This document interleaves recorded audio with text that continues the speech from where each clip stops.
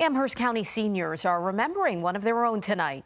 During a candlelight vigil, more than 30 people gathered near Scott Zion Baptist Church to remember Cameron Johnson. The 11 year old was hit and killed by a car on Galt's Mill Road in 2013. Johnson would have been graduating from Amherst County High School tomorrow with her classmates. Seniors from the school wore their cap and gowns to celebrate her life.